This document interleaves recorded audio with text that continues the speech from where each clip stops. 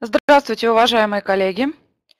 Вас приветствует компания Витапульс и я врач компании Арчибасова Елена Алексеевна. Сегодня в рамках нашего вебинара мы разберем еще одну нозологическую форму.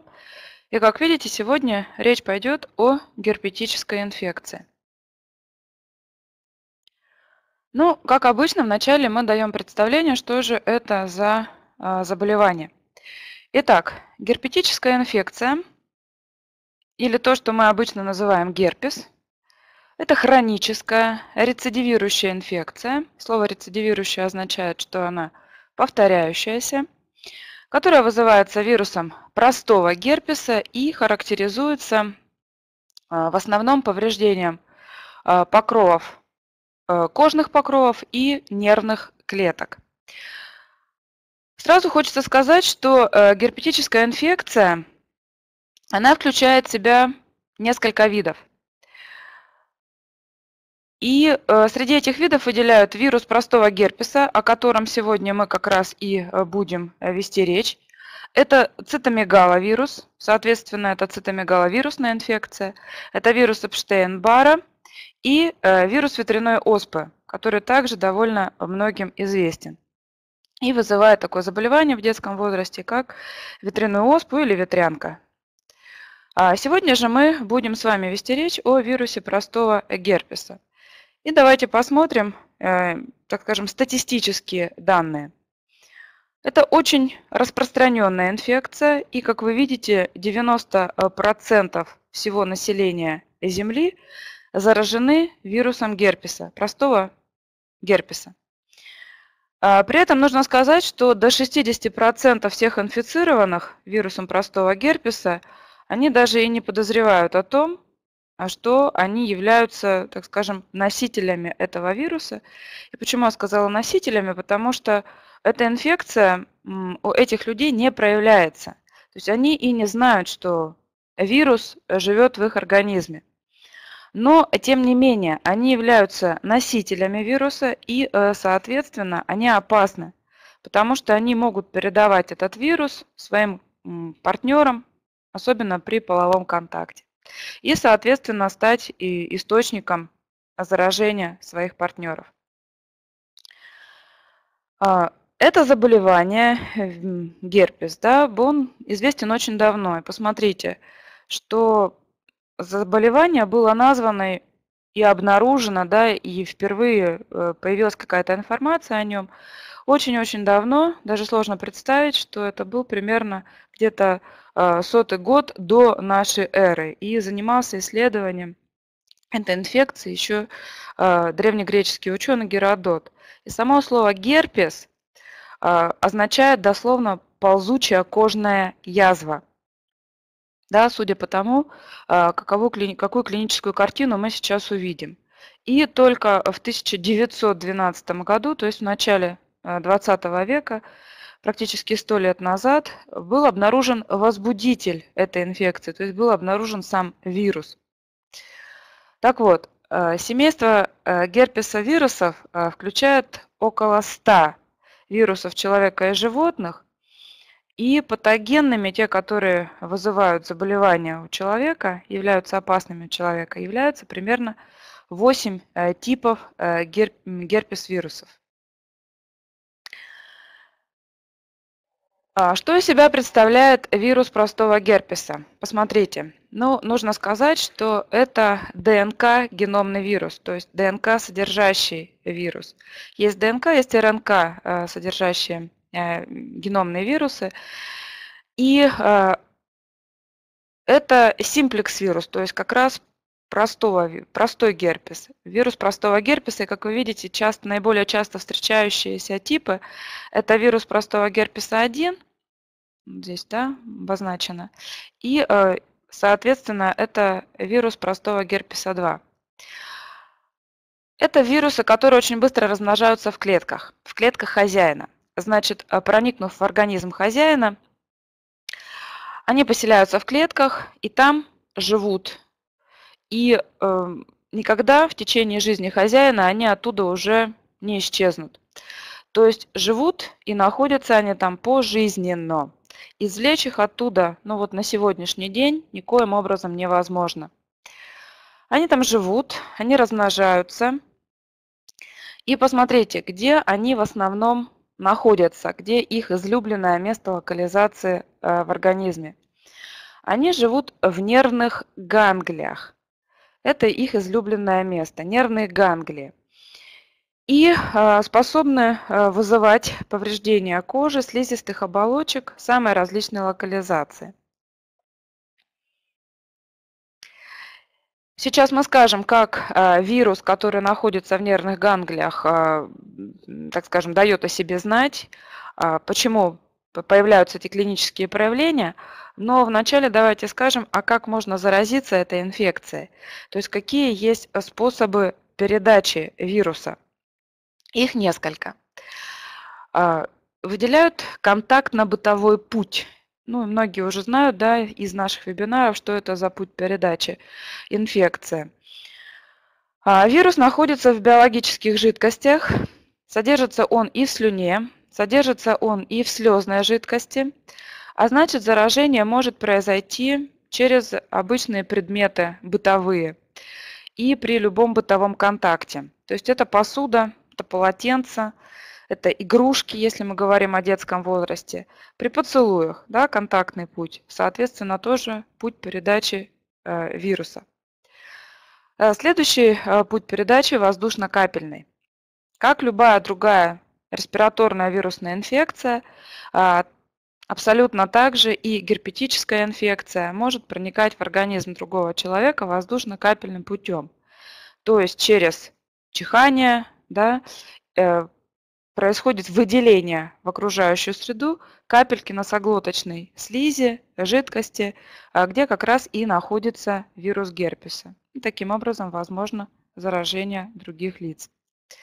Следующий путь передачи – это половой путь передачи при половых контактах. И э, есть еще один способ э, заражения вирусом – это уже вертикальная передача от матери к плоду. И мы сегодня коснемся этого вопроса и поговорим о ситуациях, э, связанных с врожденным герпесом и э, назовем особо опасные периоды во время беременности, когда значит, инфекция проникает в организм плода и делает его не, уже не жизнеспособным. Немножечко дадим характеристику вирусу. Посмотрите, это очень важно, и я хочу остановиться на этом еще раз. И давайте посмотрим, что вирус герпеса, проникнув в организм, сохраняется в организме хозяина, то есть э, зараженного больного человека пожизненно. Всегда. Еще раз хочу сказать, что на сегодняшний день излечиться от этой инфекции не можно перевести эту инфекцию только, э, так скажем, в форму такую, да, латентное течение, когда она не дает своих рецидивов, то есть не дает обострений. Итак, вирус живет чаще всего, мы сказали, в нервных ганглиях, и эти нервные ганглии чаще всего это паравертебральные сенсорные ганглии. То есть те ганглии, само слово паравертебральные означает, что они располагаются рядом а, с позвоночным столбом. А, соответственно, вот а, здесь да, шейные отделы, грудные, поясничные, нервных ганглиев излюбленное место локализации. А, далее, из этих нервных ганглиев э, вирус э, проникает в кожу, в слизистые оболочки и вызывает, а, так скажем, уже клинические проявления, которые все наверняка видели. Это визикулы, визикулезные высыпания. Слово визикула означает пузырьки. Пузырьки заполнены какой-либо жидкостью. Так вот, для герпеса характерны типичные визикулы. Их, как правило, много, множественно, множественные визикулы. Они возникают в результате того, что в коже, в шиповидном а, слое эпителия, происходит его как бы расслоение и дегенерация клеток. А, визикулы вначале а, содержат ну, прозрачную жидкость, а затем она через какое-то время становится мутная. И вот цикл репликации, репликация слова означает размножение, то есть цикл размножения вируса в клетке продолжается примерно 10 часов. И за это время может наступить э, такое состояние, как вирусемия, то есть проникновение вируса еще и в кровеносное русло. И вот здесь при наличии ослабленного иммунитета, то есть при тотально э, сниженной да, иммунной защите, когда вирус распространяется стоком крови, он может вызвать, э, так скажем, поражение и других органов. То есть изменения будут не только на коже и слизистых, но еще и в патологический процесс будут вовлекаться внутренние органы. Это и печень, и селезенка, и почки, и даже головной мозг. Соответственно, тогда идет речь уже о генерализации инфекции. Но это, естественно, очень тяжелое состояние. Ну и вот как раз вот я значит, сейчас выставляю слайд, на котором вы можете увидеть наглядно, как происходит э, движение, распространение вируса э, герпеса из сенсорных нервных ганглиев. Вот давайте посмотрим. Вот здесь, да, вот в разрезе показан спинной мозг. Э, рядом с ним, ну, который, как известно, находится в позвоночном столбе, поэтому и ганглии называются паравертебральные. А, вот они, а, сенсорные ганглии. Вот здесь вот находится вирус герпеса. Затем по аксонам, то есть по отросткам нервных клеток, он продвигается. И, соответственно, вот такие изменения происходят в коже и слизистых.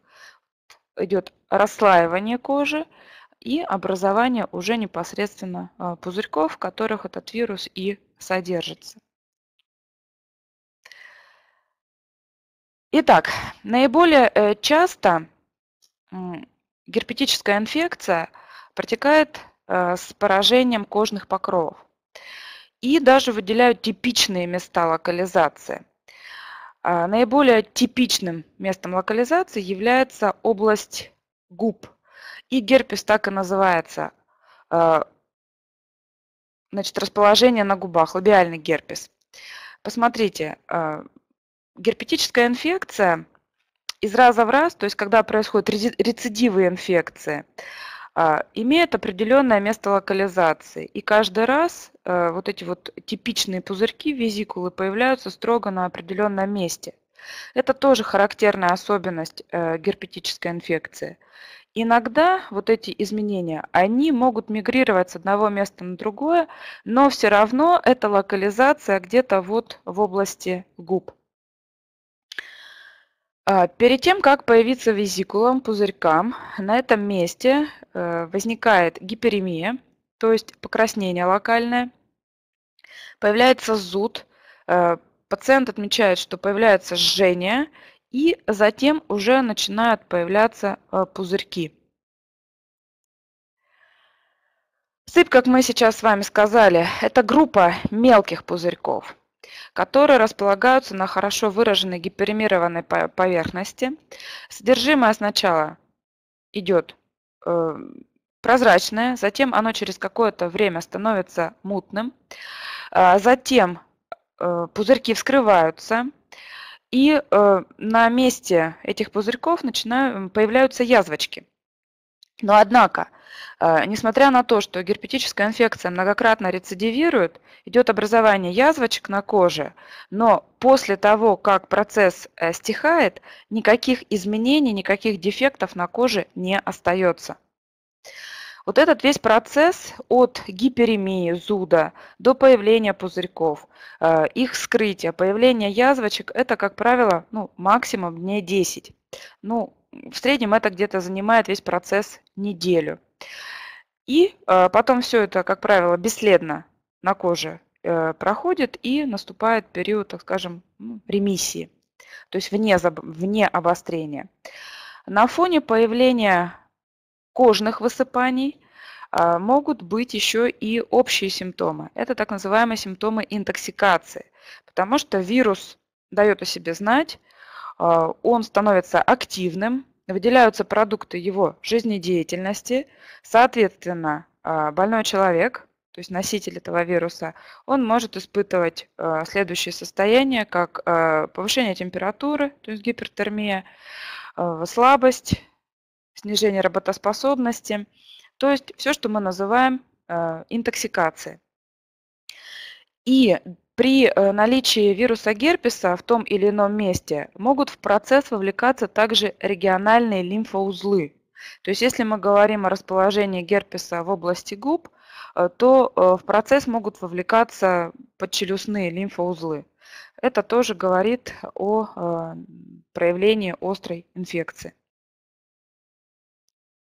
Ну и вот как раз здесь на представленном слайде довольно-таки а, подробно и поэтапно а, показано, как происходит развитие герпетической инфекции в области губ. Да, то есть вначале без каких-либо изменений ощущения зуда, гиперемии, затем появление пузырьков, затем содержимое пузырьков а, значит, э, пузырьки вскрываются, содержимое начинает выделяться, появляются язвочки, коросточки. Все это э, значит, становится сухим с появлением корок. И через определенное время, посмотрите, губы основа чистые, как будто бы ничего и не было.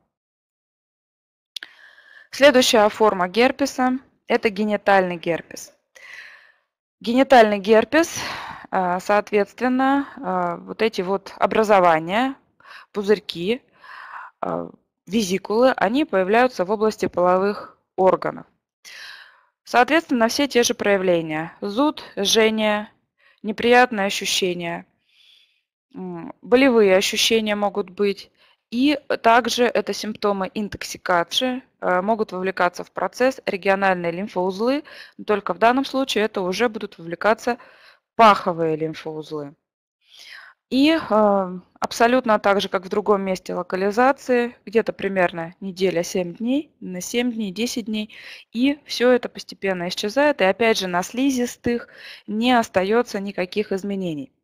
Причем вот эти вот пузырьки герпетические, они могут быть как в области наружных половых органов, и если говорить а, значит, о а, организме женщины, то могут располагаться и уже и внутри. То есть когда а, сам человек, сама женщина не видит их, да, то есть это может быть и на слизистое влагалище. Там тоже могут быть такие вот пузырьковые образования.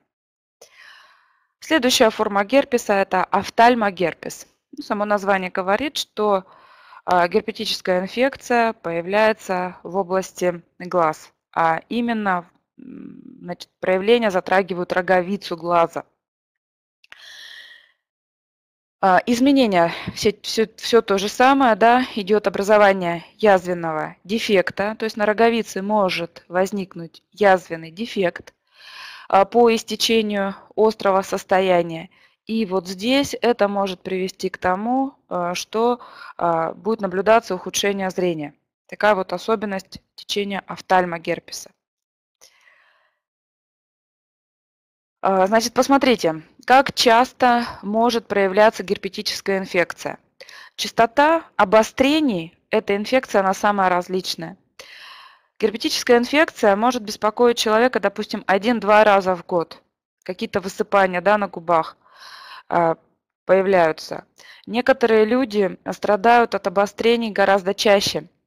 И обострения могут быть и до 20 раз в год, и более. И вот в зависимости от локализации, то есть это может быть и генитальный герпес, да, который обостряется в течение года многократно. То есть а, от чего зависит а, обострение герпетической инфекции, от чего зависит у кого-то да, редко идет обострение, у кого-то так часто. Все зависит от наличия провоцирующих факторов. То есть те факторы, которые способствуют обострению инфекционного процесса. Какие? Ну, прежде всего, это ослабление иммунитета. Ослабление иммунитета, э, как правило, э, бывает э, при, на фоне какой-то вирусной инфекции, то есть острой респираторной вирусной инфекции. А, зимний период, да, вот сейчас идет всплеск вирусных инфекций, в том числе и гриппа. Общее иммунное состояние человека ослабевает, и на этом фоне может обостриться и герпетическая инфекция. А, это какие-то стрессовые факторы для организма могут спровоцировать обострение герпеса. Что к ним относится? Ну, если говорить о физических стрессовых факторах, то к ним относится чрезмерная инсоляция, посмотрите, инсоляция, действие э, солнечных лучей, чрезмерное. Да, то есть это физический фактор э, действия э, солнечных лучей, который мы рассматриваем как и э, закаливающий фактор, и говорим о больших полезных свойствах ультрафиолета. Но тем не менее, чрезмерная инсоляция может спровоцировать развитие, ну, вернее, обострение герпетической инфекции. Точно так же, как и переохлаждение, которое приводит к ослаблению иммунитета. У женщин обострение герпеса может возникать в предменструальный период. И э, закономерность обострения генитального герпеса как раз вот в предменструальный период. Установлена и такая связь. Э, в некоторых случаях причинно-следственные связи между обострением герпеса и причина, которая бы спровоцировала это обострение, ну, не удается обнаружить. И посмотрите, герпес часто рецидивирующий, то есть 20 раз в год и более, это часто рецидивирующий герпес. Либо распространенная форма герпеса, и мы сейчас тоже об этом будем говорить и посмотрим. Э, генерализованная герпетическая инфекция. Вот здесь уже э, при наличии значит, такого анамнеза э, требуется тщательное обследование на СПИД. То есть, как вам известно, да, это синдром приобретенного иммунодефицита, это состояние, при котором ослаблены защитные силы организма, и герпес рассматривается как одно из маркерных заболеваний ВИЧ-инфекции. Поэтому вот здесь нужно быть очень, так скажем, внимательным. Если же речь идет о генерализованных формах герпеса, то есть тогда, когда вирус проникает в кровь, истоком крови разносится и может вызывать патологические изменения со стороны внутренних органов, то посмотрите, э, чаще всего что вовлекается в патологический процесс? Это легкие, и э, тогда идет речь уже о герпетической вирусной пневмонии. В процесс может вовлекаться печень, и тогда будет речь идти о гепатите вирусном, но в данном случае это будет герпетический гепатит. И э, в процесс может вовлекаться еще и э, ткани головного мозга и оболочек головного мозга. Тогда уже э, Э, нужно рассматривать такое состояние, как энцефалит и менингоэнцефалит. Но вот эти вот формы энцефалита и менингоэнцефалита по сравнению с другими висцеральными поражениями, они встречаются относительно редко. Теперь давайте поговорим о генерализованной форме герпеса. То есть сейчас мы говорили о форме на лице да, герпеса, это локальный герпес, о э, тех высыпаниях, которые могут быть при генитальном герпесе, это все-таки локальная форма герпеса. А есть еще генерализованные а, формы герпеса. И вот одной из этих форм является форма, которая называется опоясывающий лишай. Опоясывающий лишай – это тоже форма герпетической инфекции. Что это за форма? Она уже вовлекает в процесс довольно большие участки тела и эм, ситуация уже более серьезная, поэтому здесь характерны у пациентов выраженные а, симптомы интоксикации, те, которые мы сейчас с вами называли. Это и повышение температуры, и слабость, и потливость, и, возможно, тошнота. И что же здесь, э, какие локальные изменения? Это, конечно же, тоже изжение, и зуд в области проекции. Посмотрите, периферических нервных стволов. То есть вирус герпеса, он очень любит нервную ткань. Он там живет, да, в нервных структурах, нервных ганглиях. То есть в области проекции периферических нервных стволов а, появляются э, высыпания на фоне, опять же, гиперемированной поверхности, возможно, отечной поверхности. Появляются множественные герпетиформные высыпания – и чаще всего они локализуются, эти высыпания, по ходу межреберных нервов, либо это по ходу ветвей тройничного нерва. А ветви тройничного нерва – это проекция на лице. Соответственно, здесь будет выраженный болевой синдром. Это группа скопления пузырьков, которые также сначала имеют прозрачное содержимое, которое затем постепенно становится мутным, сильное жжение, зуд, хочется все это расчесать. И, конечно же, еще раз хочу сказать, выраженные э, болевые проявления.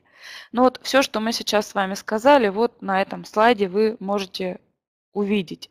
Вот это как раз форма опоясывающего лишая, когда герпетические э, высыпания идут по уходу межреберных нервов. Посмотрите, какой э, участок да, кожи вовлекается в процесс. Проекция межреберных нервов. Соответственно, болевые проявления выражены, симптомы интоксикации выражены, и вообще состояние человека довольно-таки тяжелое. Теперь давайте немножечко скажем о э, герпетической инфекции, как она возникает у плода и у новорожденного. Ну, э, посмотрите, ну, давайте сначала скажем в общем, а потом уже будем говорить о каких-то таких э, частных моментах. Если говорить в целом о форме э, герпеса да, у плода и новорожденного, то он э, протекает, посмотрите, без каких-то видимых изменений на кожных покровах. Каких-то пузырьков у новорожденного где-то на коже сложно увидеть. Но у новорожденного в процесс вовлекаются внутренние органы, то есть герпетическая инфекция, она затрагивает э, внутренние органы, то есть висцеральные э, идут изменения. Это и печень, это и селезенка, в процесс вовлекаются и ткани головного мозга. И поэтому у новорожденного будет такое проявление, как гепатоспленомегалия, то есть э, увеличение в размерах печени и селезенки. Если в процесс вовлекается центральная нервная система, то есть речь идет о головном мозге, то, конечно же, соответствующая клиническая картина с характерной топической клиникой неврологических расстройств. У новорожденного может быть и гидроцефалия. Так вот, эта ситуация, она часто приводит к тому, что ребенок, плод, вернее, не жизнеспособен, и, соответственно, да, такие дети ну, беременность заканчивается не вынашиванием, да, либо а, рождением мертво, мертворожденностью. Если же все-таки дети выживают, рождаются, то при таких вот глобальных изменениях это инвалидизация на всю жизнь, это ребенок отстает и в физическом развитии, и в психомоторном развитии. Но что нужно отметить? Да, мы говорим, при такой инфицированности герпеса 90% населения Земли инфицировано герпесом, и такие страшные изменения при врожденной э, герпетической инфекции, конечно же, встречаются, к счастью, не так часто. Почему? Потому что если мама болела герпесом до беременности, то есть у нее герпетическая инфекция была до, до беременности, у нее, конечно же, в крови циркулируют выработанные на вирус герпеса антитела – которые передаются ребенку. И передаются они ребенку, э, начиная где-то с 28 недели беременности. То есть ребенок получает иммунитет от мамы, что является его, так скажем, охранной грамотой. А вот это все, что мы сейчас здесь рассказали, это может э, быть, если э, женщина заболела герпетической инфекцией во время беременности, впервые она встретилась с ней. И наиболее опасный момент для ребенка будет, конечно же, если мама а, заболела герпесом в, в третьем триместре, потому как это уже поздние сроки беременности, и у нее до этого не было антител, и, соответственно, антитела только начинают вырабатываться, и организм ребенка их не получает, этих антител. Их просто нет, нет времени для выработки и э, передачи их ребенку. Соответственно, вот здесь может произойти инфицирование вирусом герпеса и плода. И тогда вот все те изменения, которые мы сейчас с вами разобрали. Теперь давайте поговорим немножечко об аюрведических э, моментах. Итак, Герпетическая инфекция – это воспалительная реакция, это инфекционный процесс. Значит, герпес а, проявляется преимущественно нарушением питты. Э, герпес э, питта типа проявляется выраженным лихорадочным состоянием. Соответственно, это жажда, это раздражительность, то есть все проявления питы. И изъявления, те образования, которые есть э, значит, у пациента, они очень выраженные, выраженная гиперемия, выраженный отек, и они очень болезненные. Это проявление э, герпетической инфекции по питотипу. Но э, герпетическая инфекция, она есть и у других представителей конституции. То есть есть герпес Ивата типа и герпес Капха типа. Э, основные проявления все те же самые, да, визикулы, которые проявляются на кожных покровах или слизистых оболочках. Но посмотрите, для герпеса э, вата типа он сопровождается сухостью кожи, сухость кожи, да, и все проявления характерные для вата типа, то есть это запоры, это, э, так скажем, упадок жизненных сил, это повышенная возбудимость, которая к этому приводит. То есть это бессонница, это общие проявления. Если говорить о местных проявлениях, локальных, то язвочки, местное образование, они очень болезненные и твердые. Но выраженной гиперемии, которая характерна вот для ПИТа, как мы сейчас говорили, нету. И вот каких-то выраженных признаков воспалительной реакции нет. То есть кожные покровы сухие, они могут быть э, даже бледные, но никак не гиперемированные, и сами образования, они твердые. Если говорить про проявление герпеса капха типа, то здесь посмотрите, да, на, даже на слайде представленном видно, что вот эти вот пузырьки, они сочатся, обильно сочатся, выраженная гиперемия, выраженная отечность, и все это сопровождается скоплением слизи в организме. Как лечить да, герпес? Ну как лечить? Мы сказали, что вылечить невозможно, но можно сделать так, чтобы вот эту вот инфекцию э, загнать глубоко-глубоко-глубоко, чтобы она очень длительное время, то есть как можно реже давала о себе знать. А можно это сделать только одним способом. Это укрепить иммунитет, то есть повысить э, защитные э, ресурсы своего организма так как мы видели, что э, обострение инфекции всегда происходит при ослаблении иммунитета.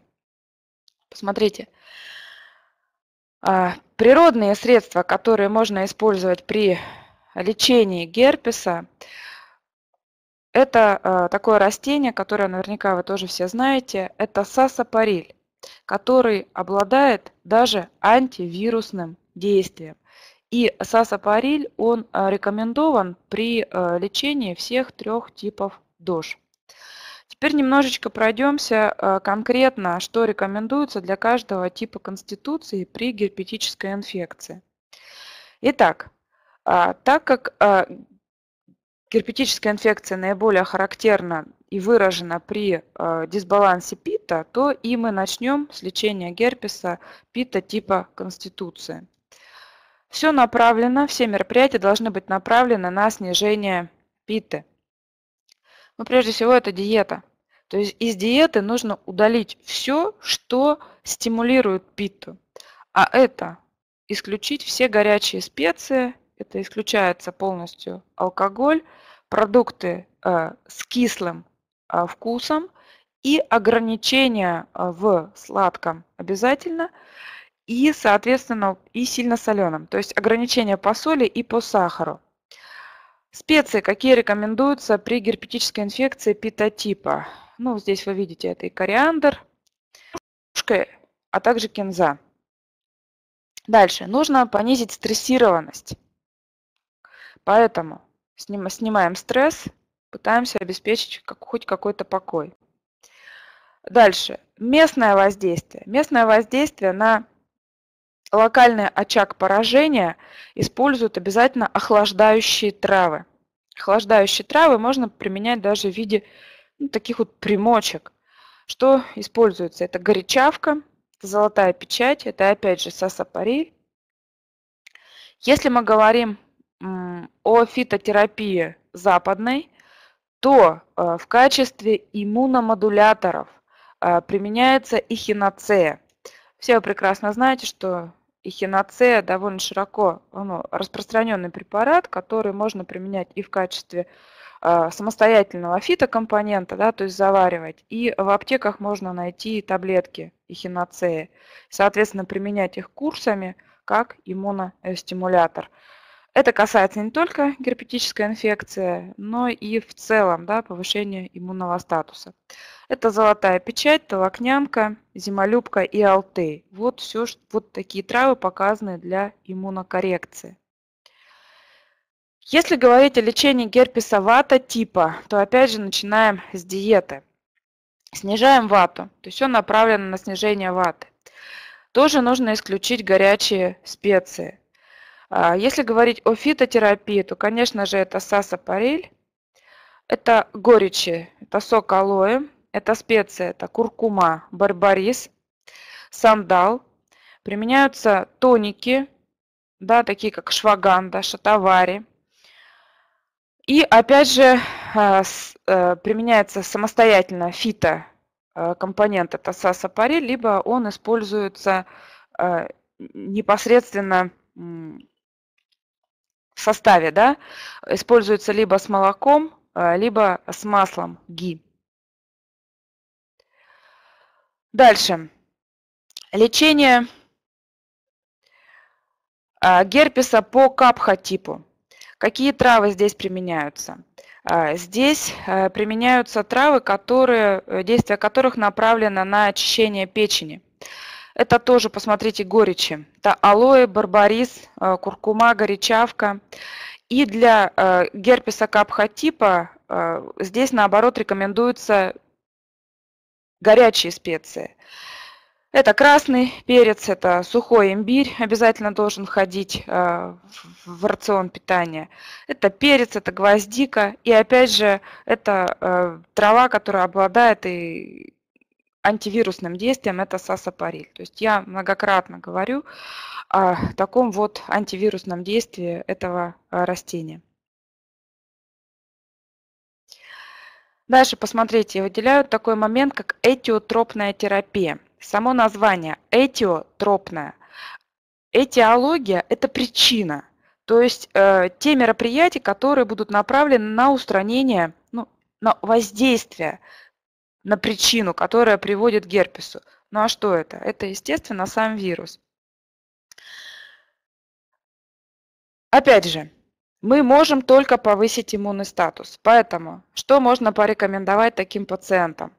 Это иммуностимулирующая терапия на период ремиссии. А, укрепляем состояние да, для того, чтобы а, предотвратить вот эти рецидивы. Назначаются иммуномодуляторы, и мы их назвали – частности, мы назвали в основном это природные иммуномодуляторы. Это различные адаптогены, иммуноглобулины. Посмотрите, э, в клиниках при часто рецидивирующих формах, при генерализованных формах применяется внутривенное лазерное облучение крови. Но это, конечно же, только в условиях стационара. Дальше. Широко используется физиотерапия. Ультрафиолетовое облучение показано. Ультрафиолетовое облучение показано на зону э, вот этих вот паравертебральных нервных ганглиев. Показано оно как в период ремиссии, так возможно и в период обострения. Потому что вирус герпеса, э, вообще-то он э, не стоек под влиянием, не стоек, да, то есть погибает под влиянием ультрафиолета. Но все, конечно, в определенных дозах, да. Соответственно, вот это ультрафиолетовое воздействие на области паравертебральных нервных ганглиев. Возможно. Это инфракрасное облучение, это воздействие магнитотерапии и э, воздействие КВЧ. Ну и в связи с этим хочу сразу показать, что в рамках АПК Видопульс, в качестве примера возьмем только такой физиотерапевтический метод, как КВЧ. И вот посмотрите, у нас есть такая нозологическая форма, которую мы сегодня разбираем, это герпес. И вот здесь, ну, может быть, плохо видно, я выбрала как раз хронический герпес, состояние, да, нозологическую форму, определенной локализации, расположение в области губ и э, КВЧ-терапия с указанием определенных точек и воздействия на них любым КВЧ-прибором. Э, как один из методов воздействия при лечении герпетической инфекции. Очень хотелось бы остановиться и на это тоже уделить внимание э, антигерпесной диете, потому как от того, что мы едим, все вы прекрасно знаете, определяет состояние нашего организма, в том числе и состояние иммунного статуса. Так вот, антигерпесная диета должна содержать много витаминов, и мы сейчас дадим краткую характеристику вот этим витаминам. Это витамины А, С, Е и цинка, микроэлемента цинка. Обратите на это внимание. Ну и давайте так немножечко пройдемся по всем этим витаминам. Начнем с витамина А. Витамин А, все вы прекрасно знаете. И э, здесь я привожу суточные нормы потребления этого витамина. Буду называть для взрослых, но хотя здесь я выношу различные категории да, э, функциональные. Это и беременные, и кормящие, и детский возраст. Ну, так вот, для взрослого человека э, в сутки э, нужно употреблять 800 тысяч микрограммов витамина А. А витамин А, почему, ну, так принято, да, и здесь я тоже привожу такую вот иллюстрацию, содержится витамин А в морковке, много. Да, действительно, но давайте будем себе четко понимать, что он там содержится не в активном состоянии витамин А. Он находится там в виде провитамина, ретиналя. И, соответственно, чтобы он перешел в активную форму, витамин А, а так как он жирорастворимый витамин, то нужно употреблять морковь с какими-то жирными продуктами. Ну, к примеру, если вы готовите морковный сок, то обязательно туда нужно добавить хотя бы 2 ложки сливок, как э, жирного продукта. Тогда этот витамин А будет усваиваться. Итак, вот здесь на этом слайде вы видите продукты, в которых витамина А достаточно много. Это все молочные продукты, потому что это жирсодержащие продукты. Но самым уникальным продуктом по э, содержанию белков, жиров, э, по наличию витаминов является, конечно же, масло сливочное. И если говорить, где содержится много витамина А, то на первом месте нужно называть не морковь, а нужно называть масло сливочное. Ну и вот все те продукты, я их не буду перечислять, вы все их видите, здесь содержится витамин А. Дальше. Это витамин Е. Витамин Е – это тоже жирорастворимый витамин. И э, употреблять взрослому человеку его нужно где-то примерно около 0,3. Обратите внимание, доза дается из расчета миллиграмм на килограмм веса.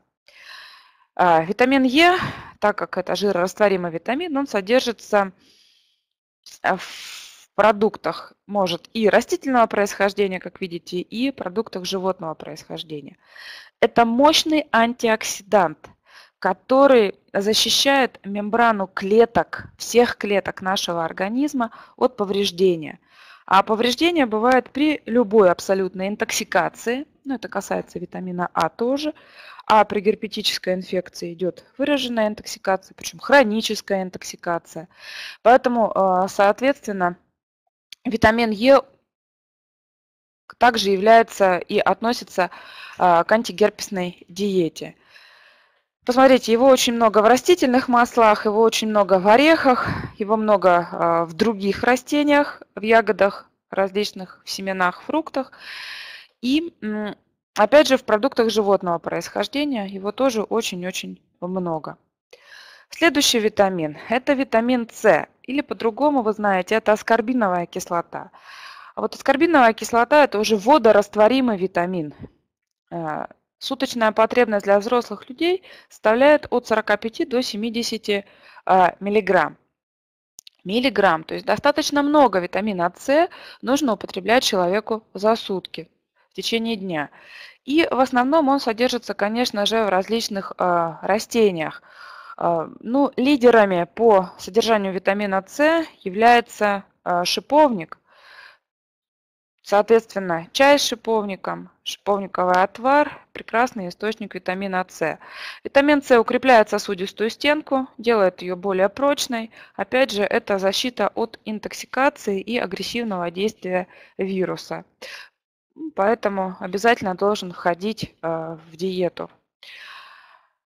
И мы сказали, что таким вот эм, антигерпесным действием еще обладает микроэлемент цинк. Ну, про цинк не так много где говорится, но нужно сказать, что это э, очень важный микроэлемент для нашего организма. Он входит в состав и участвует в синтезе многих гормонов, участвует во многих ферментативных процессах. Но мы сегодня говорим о его роли как вот э, антигерпесной активности.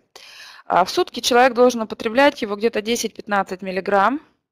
Если это какие-то идут повышенные нагрузки на организм, в том числе это касается и э, при беременности, и кормящих женщин, то количество содержания цинка э, в рационе питания должно увеличиваться в 2-3 раза. Лидером по содержанию цинка являются морепродукты. Но помимо морепродуктов, его еще также э, много в различных овощах и ягодах. И э, посмотрите, его много содержится в отрубях. И то, что ну, довольно доступно для всех нас, да, ну, отруби, да, из каких продуктов, это фасоль, горох, кукуруза. И вот здесь нет, но я хочу сказать, что цинка очень много содержится в тыквенных семечках. Поэтому вот это должно быть обязательно в диете.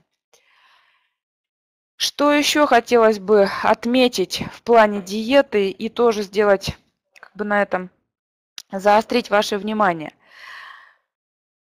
Существует так называемая противовирусная аминокислота. Аминокислоты – это ну, тот строительный материал, без которого мы не можем жить. Соответственно, все белковое питание, которое получает организм, все белки, а, они в организме, белки – это сложная структура, подвергаются гидролизу многочисленными ферментами желудочно-кишечного тракта, образуются мономеры аминокислоты, и они уже в дальнейшем всасываются и идут на постройку ну, всех клеток нашего организма, и гормонов, и ферментов, и то есть обладают выраженным и в том числе и на строительство иммуноглобулинов, так как это белковая структура, то есть антител. Поэтому посмотрите, противовирусная аминокислота лизин. Сначала давайте скажем, а, в организм должна поступать ежедневно в количестве около 1,3 грамма. И вот эта вот аминокислота, она является незаменимой. То есть она в организме не синтезируется и должна поступать ежедневно с продуктами питания. Так вот, было установлено и проведены клинические исследования, которые доказали, что при поступлении этой аминокислоты в достаточном количестве а, рецидив герпеса сокращается в 2,4 раза. Ну, это очень хороший показатель. Где содержится лизин? Лизин содержится в таких продуктах питания, вы видите, это творог, лидер да, по содержанию лизина, это любые другие молочные продукты, это рыба, мясо, яйца. И в меньших количествах содержится, конечно же, в растительной пище, но тем не менее есть. Это бобовые, авокадо, крупы различные, курага. А с другой стороны, нужно ограничить потребление аминокислоты аргинин. Вот аргинина очень много в шоколаде и э, в пшеничной муке, а значит это все хлебобулочные изделия. Почему? А потому что вирус герпеса для того, чтобы ему жить и размножаться, э, на строительство самого вируса герпеса идет аминокислота аргинин. Но вирус герпеса можно обмануть а, если будет поступать большое количество лизина, потому что лизин и аргинин – это две аминокислоты, которые очень похожи друг на друга. И вирус герпеса при избытке лизина начинает использовать его в качестве строительного материала. Но так как это не аргинин, то э, воспроизводство себя у вируса герпеса не получается, и он погибает. Соответственно, частота рецидивов будет снижаться. Вот, а, соответственно, такие моменты, которые ну, помогут уменьшить частоту рецидивов герпетической инфекции. Также хотелось еще сказать, что лизин, который содержится в продуктах питания, а, выпускается в виде ну, самостоятельного препарата, так скажем, называется L-лизин, и рекомендуется в качестве лечения герпетической инфекции. Ну какая профилактика? Профилактика герпеса. А, профилактика герпеса заключается только в одном – в укреплении иммунитета, укреплении защитных сил организма. Э, все остальное, да, это все, что носит общий рекомендательный характер. Это избегать стрессов по мере возможности, то есть, другими словами, избегать всех провоцирующих моментов, которые могут способствовать возникновению обострений. Достаточный сон, это нормальный режим труда и отдыха, это, конечно же, закаливание организма. И если это идет период эпидемии ОРВИ, а вот именно сейчас это период эпидемии ОРВИ гриппа, то нужно себя по максимуму обезопасить. Самые простые способы, про которые тоже многократно везде о них говорят, это сократить пребывание в каких-то людных местах, какие-то массовые мероприятия ограничить. И э, хотелось бы сказать про маски. Да? Если человек болен вирусной инфекцией, то тот человек, который болен вирусной инфекцией, ну, он просто должен носить маску, да, для того, чтобы не распространять этот любой вирус, да, вирус респираторной вирусной инфекции э, в окружающую среду и не заражать огромное количество э, рядом находящихся с собой людей и не ослаблять их иммунитет. А, ну, соответственно, общие принципы укрепления иммунитета. Вот и все, что можно сказать о профилактике э, вируса герпеса. Ну и, соответственно, нужно, если говорить о половом герпесе, то э, думать еще и о профилактике генитального герпеса, но здесь уже э, исключительно каждый сам решает для себя. Ну и, как обычно, мы немножечко говорим о э, тех маркерах, которые могут поспособствовать диагностике герпетической инфекции при помощи аппаратно-программного комплекса «Видопульс». Локализация герпеса самая различная. Поэтому изменения, которые мы увидим, маркеры мы увидим, они тоже могут быть самыми разными. На что хотелось бы обратить внимание? Это изменения по восьмому меридиану. Это меридиан почек, э, который характери... ассоциируется с энергией ЦИ.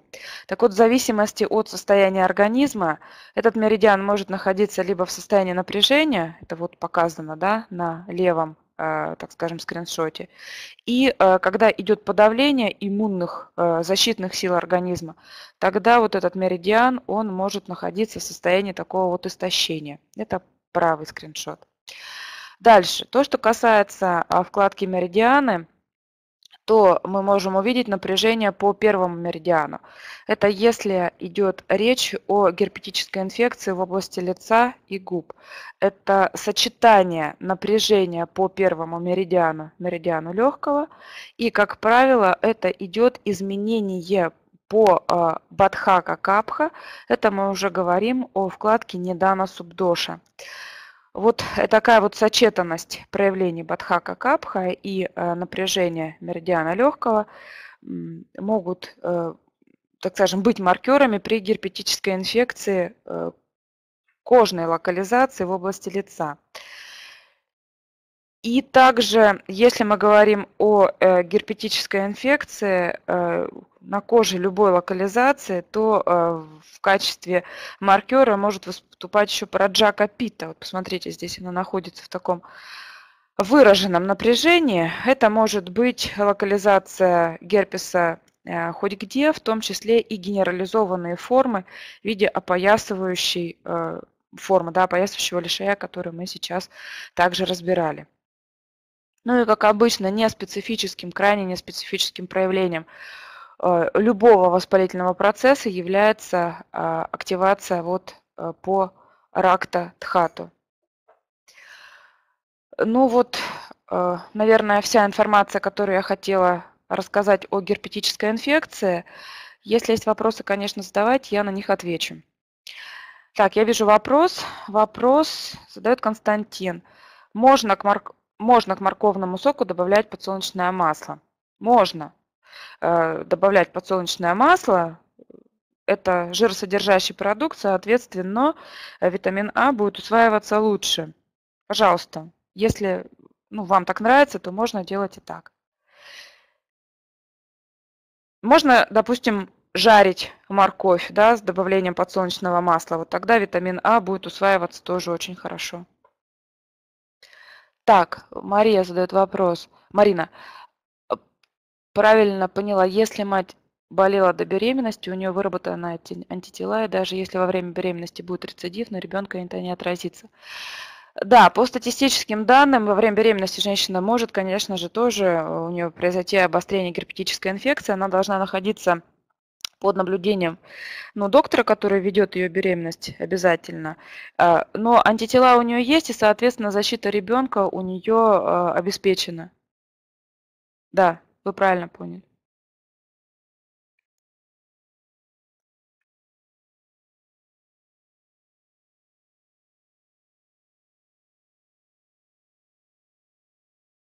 Так, в другой вкладке.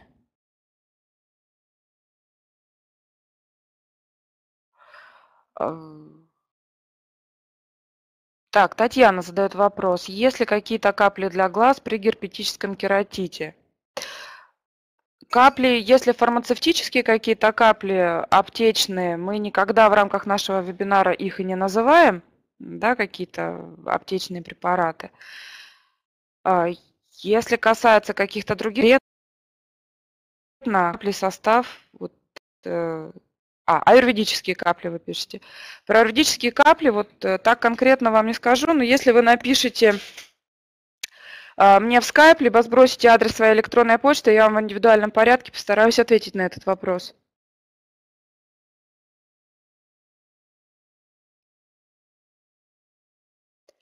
А вирус ребенку передается? А, вирус ребенку передается в каком случае? А, в 90% случаев, если мать больна вот герпесом непосредственно в момент родов, так скажем, да, во время рождения, то 90% заражения ребенка герпетической инфекции происходит э, во время прохождения через родовые пути. Если вот очаг находится э, в шейке матки, да, герпетическая инфекция. И э, в том случае, опять же, если у ребенка нет антител, да, то есть они не передались ему от матери, э, в 5% случаев э, наблюдается так называемая восходящая инфекция, то есть трансплацентарно передается э, вирус во время инфекции, но это, как правило, сопровождается не вынашиванием беременности, то есть выкидыши, плод не жизнеспособен. И 5% э, случаев, когда может э, заразиться ребенок, это уже после рождения, это непосредственно от матери, у которой герпетическая инфекция, и она контактирует с ребенком, ну, допустим, у нее там на губах где-то вирус, она ребенка целует, то возможно передача инфекции, либо от медперсонала.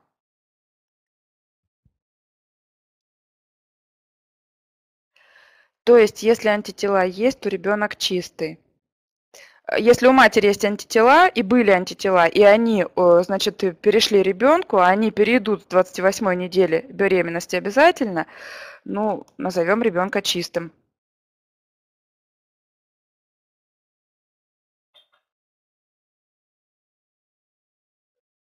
Спасибо.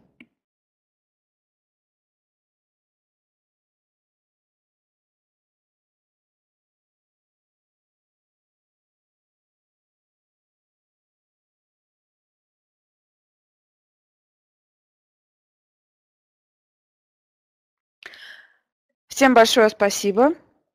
До свидания.